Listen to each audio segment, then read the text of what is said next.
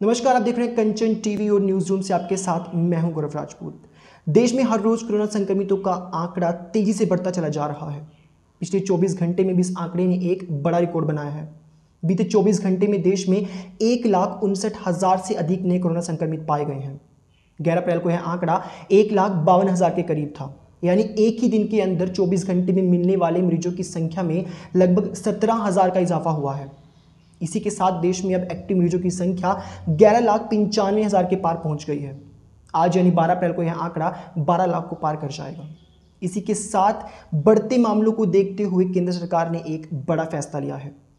Corona मरीजों को दिए जाने वाले इंजेक्शन रेमडेसिविर के निर्यात पर अब केंद्र सरकार ने रोक लगा दी है। दरअसल, भारत के अलग अलग हिस्सों से कोरोना मरीजों को दिए जाने वाले इंजेक्शन के शॉर्टेज की खबरें आ रही थी। इसे देखते हुए अब केंद्र सरकार ने यह बड़ा फैसला लिया है। इसी के साथ आपको बता दें कि रेमडेसिविर इंजेक्शन को बनाने के लिए जिस सामग्री का उपयोग किया जाता है, उसके एक्सपोर्ट करने पर भी रोक लगा दी गई है।